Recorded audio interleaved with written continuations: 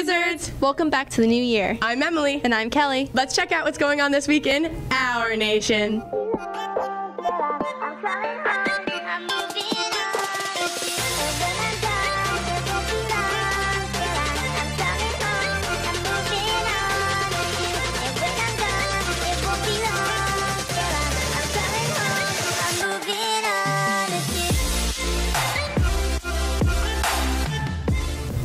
Weekly Regents review class for Algebra 2 and Geometry will take place from October through May. Review sessions for Geometry will be held every Tuesday, and Algebra 2 will be held every Thursday from 3.30 to 4.30 in room 134. Sign-up sheets will be on the counter in the main office. Don't forget to buy your ad for the yearbook. You can order it at yearbookordercenter.com with the school code 13419. Remember, space is limited. If you have any questions, see Ms. Balker or Ms. Schultz. Attention all seniors. The all-night party will be at the castle this year. The cost is $100 and you can submit a $25 deposit to the main office to reserve your spot. Physicals will be available every Friday for all athletes and sophomores who need it to acquire working papers. Come in and see when your physical expires. And if you need a physical, sign up in the health office. First come, first served. Attention Student Coalition members. The Boston trip permission slips are available in the main office and outside in room 154. All slips are due by January 12th. Remember, all community service hours need to be up to date to hand in a permission slip. Are you a sophomore interested in attending the BOCES C-Tech visitation on Tuesday, February 6th? If you are, you are reminded to get your visitation pass returned to Miss P in the guidance office no later than January 23rd. Have a problem? Here's Melissa Nolan at Odyssey of the Mind. Hey guys, I'm Melissa from BGTV, and this week we're going to check out what Odyssey of the Mind is all about. Let's go. I'm here with Lauren Merchant. So, Lauren, how many years have you been on Odyssey? 11 years. And what is your favorite part of being in this club since you've been in it for so long? Definitely working with my team members and seeing how like all of our hard work comes out in the end. And what are some past performances you've done? Elementary school, we did a lot of performance related problems. Middle school is more vehicle where we make a vehicle and like drive it around. And in high school, I've done structure and performance as well. So what is this year going to be? Structure. We have to make a balsa wood structure and it has to hold weights and we do a performance and everything around it. So, All right, good luck.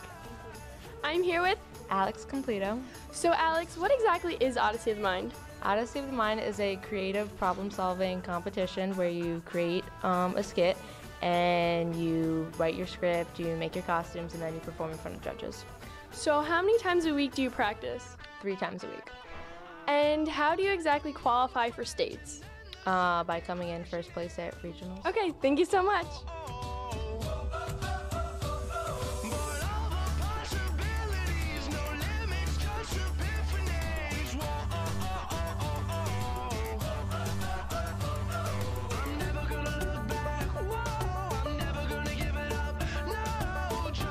I'm here with.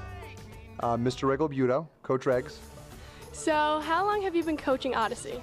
Uh, this is my third year coaching Odyssey. So this, um, I did it two years before this, obviously, um, and we've seen a lot of success with the program. And what are some characteristics you see in the kids throughout the years? Um, I think the, the common trend is um, most of the um, students who come onto OM are uh, very innovative, outside the box thinkers, very hardworking, determined, um, and a lot of the problems. Uh, every problem has to be done completely um, independently. So I really can't give a lot of um, feedback. I can't give a whole lot of coaching per se. It's more about organizing them, making sure that they um, uh, that they stay on a strict timeline. But as far as the problem solving, that's pretty much all up to them. So they have to really be able to figure that stuff out on their own. And how do you think your team this year compares to the teams in the past years? Uh, I've been very fortunate. Um, there's actually quite a few trophies up on the up on the cabinet up there, but um, we've always had first and second place finishes.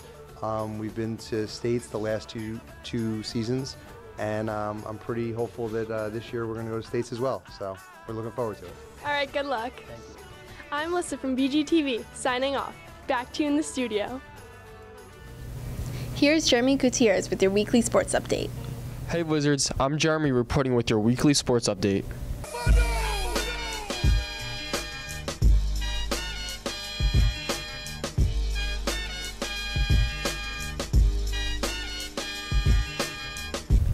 With the new year underway, all sports teams are resuming their practices. I had the chance to recap an event that happened outside of the school on January 3rd, 2018. Blooming Grove Rec is a recreational basketball league that takes place every Wednesday that our students here at Washingtonville High School participate in. Here's some courtside action.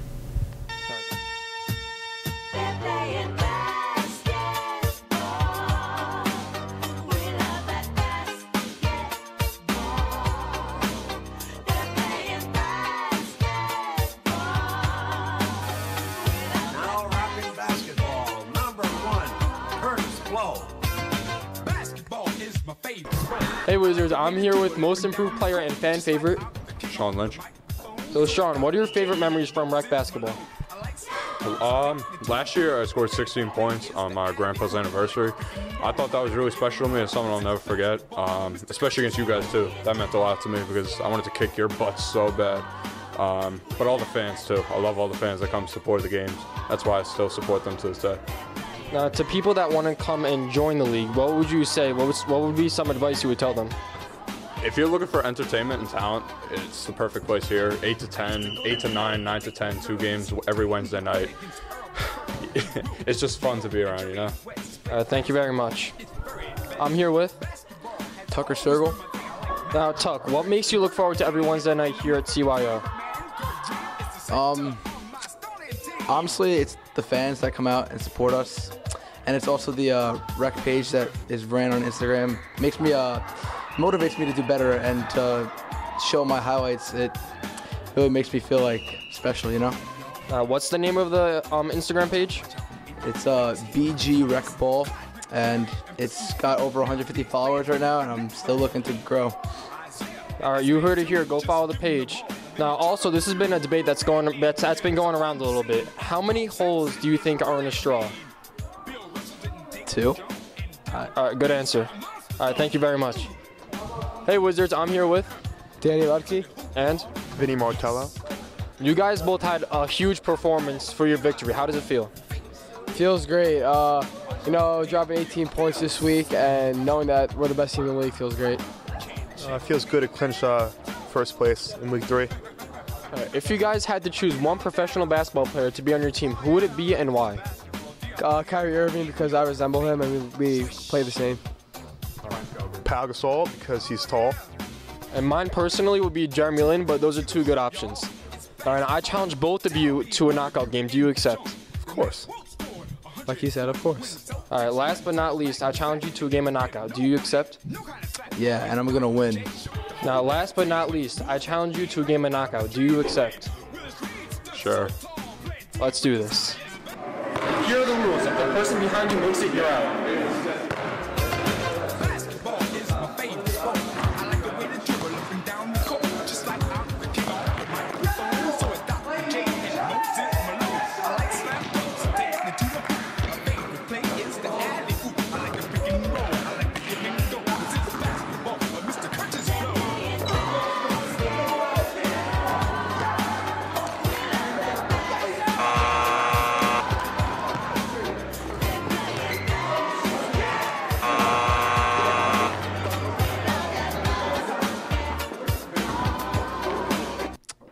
I'm gonna win.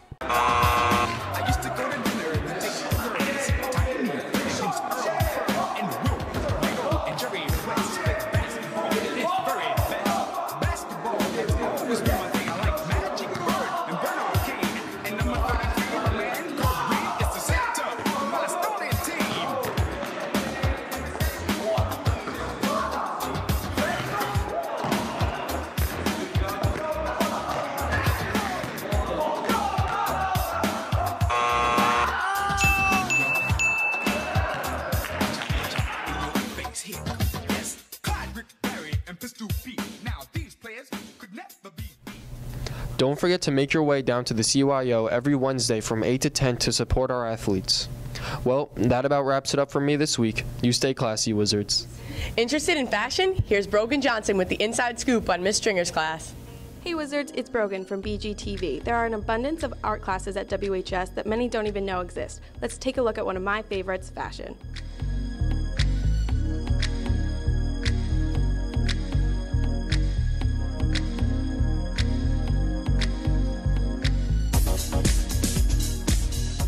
I'm here with Miss Stringer. So, when was this class created and how did you get to become teaching it? Uh, this class was probably uh, created a long, long before I got here. Uh, I came in 2004, and I've been teaching it ever since. So about 13 years. Nope, 2005 I started teaching it. So it's about 13 years. Yeah. yeah. mhm. And how did you get to teaching this fashion class specifically? Um, well, I went to the Fashion Institute of Technology, so I think it was um, a good fit uh, because of that. Also, because the teacher that was retiring had taught it, so it worked perfectly that way. And what are some of the things that you guys do in the class? Well, there's a lot of illustration, definitely a lot of illustration, and also um, we're well known. The fashion class is well known for their newspaper dresses and the toilet paper dresses as well, um, so which I think is also a, a class favorite for sure. And what is your favorite part about teaching this class specifically? Oh, I'd have to say my students' um, energy and also their passion for um, learning what we are learning in the class, and which obviously helps their grades. So I, my fashion students always have like the best grades ever. they're so easy to teach, and they're just so wonderful to have. Awesome, thank you so much. So I'm here with Jessica Nimmo. So, how did you hear about the fashion class and what inspired you to take it?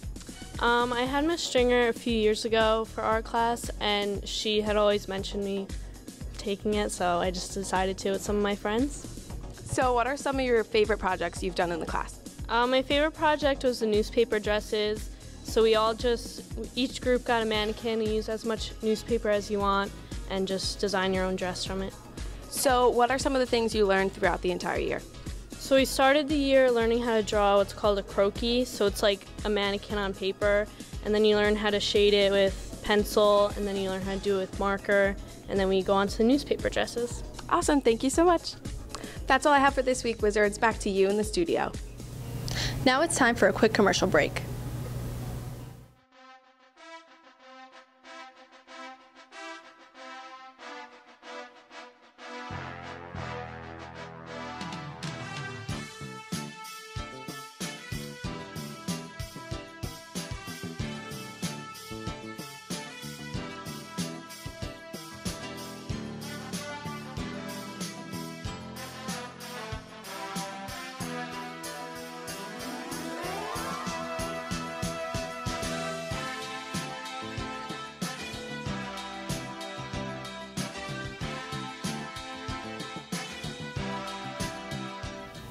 Here's Robert Eichner with our future military recruits. Welcome back, Wizard Nation. My name is Robert Eichner with BGTV, and today we will be looking at some of the future heroes of America in Washingtonville High School. American girls and American guys, we'll always stand up and salute. We'll always. So I'm here with recruit Dylan Spalding. So Dylan, at what age did you realize that you wanted to join the United States Army? Well, ever since I was a kid, I've always it's always been my dream. Even on Halloween, dressing up as an army soldier, or even playing toy guns in the backyard. Okay, and what inspired you to do this? Well, it's been a family tradition. My grandfather was a career officer in the army, as well as my uncle was. So now it's my turn. And last but not least, when are you shipping out? 14 days or less after graduation, I'll be going to Fort Campbell, Kentucky for a 10-week training program. Yeah. All right, best of luck. Thank you so much. So I'm here with recruit. Justin Nunez. So Justin, I know you plan on joining the United States Marine Corps. Why this branch of any others? I chose this branch because when I spoke to Staff Sergeant Stauffer, which is my recruiter, it sounded like I could do something for my country rather than my country doing something for me. Okay. And how do you plan on becoming a United States Marine after high school? I plan on doing that by shipping out June 25th to Parris Island, which is known as our boot camp, for about three months. Okay. And after boot camp, what will be your military occupational specialty? After boot camp, I plan on having my MOS as MP, which is also known as military police. Okay. Thank you. Best of luck.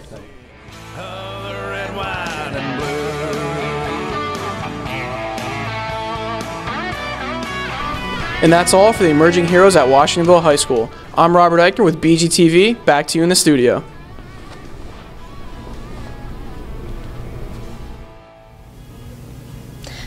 Wonder what's going on around the halls of WHS? Here's Metakeki on the move. My name's Caitlin, and as we roll into the new year, it's obvious that our fellow Wizards are making changes. So let's get moving and see what they're doing. Do you guys make New Year's resolutions every year? I do. Yeah. And uh, what is yours this year? My New Year's resolution this year is to take care of myself. Uh, mine is probably just to save all my money because I usually spend my money on stupid stuff. Okay, now which one of you do you think is going to last longer? Um, definitely me because I just will. Um, definitely me because mine is a better resolution. Got a little bit of competition. We'll see uh, which one works out better. Good luck, guys. Did you have a New Year's resolution last year? Last year, yes, I did. And did you break it? Yeah, to be honest, yes, I did. I did break it. Okay, do you have one this year? No, I don't because last year I kind of broke it. So, but you know what? I think this year is all about blessings. That's all it is this year. Hi. Hey, do you have a New Year's resolution? Um, yes, uh, to stop drinking soda. That's actually a really healthy one. Uh, how do you plan on celebrating? Um, just with my friends. So, what are your New Year's resolutions? Uh, work harder in practice. Hopefully, get healthier because I'm injured. I don't have one. Oh, why not? Because um, I don't follow up on it. Like, I'm just gonna drop it if I do have one. Okay. Uh, get good grades in school. Those are all good. Um, on the count of three, point at whoever you think's gonna keep it the longest. Okay? Ready? One, two, three. Ooh, that's an overwhelming yes to you. And why? Well, I feel like um, Gianna's gonna really procrastinate her work this year. Um, Demetra doesn't have one, so you know there's not much to improve on. Um, and I have some high hopes for Madison, but you know it's an injury, so you don't really know how far it's gonna go. Well, there's a lot riding on your shoulders now, so I hope you come through. Good luck. So, do you guys make New Year's resolutions every year? Yeah. Um, I want to do all my homework, study more, just be nicer to people in general. I want to get better grades and um, be nicer to people and just be happy, you know, New Year. So. And how do you plan on doing that? Studying every day and just trying to be positive every day. Yeah, just mostly studying, working hard, and just making new friends and just being happy. Do you guys think you're going to be able to stick to this? Um, maybe for a little while, especially the nice part. I'm not sure about the homework, but yeah, I, I think I'll be able to stick to it. So, well, I hope it works out for you guys. Good luck. Do you have any New Year's resolutions? Yes, I'll better myself as a person. And how are you going to do that? I think I'm going to study more. I feel like uh, the stuff that my teacher's been saying is relevant, so I should probably do that. All right, now honestly, how long do you think you're going to stick with that? I'm a committed individual, so I'll say for the rest of the year. All right, well, good luck to you. This has been Metakeki on the Move. Keep on moving, Wizards. That's all we have for you this week, Wizards. Don't forget to check out our Wizard Weekly and our hashtag Wizard Nation podcast. We'll see you next week on BGTV.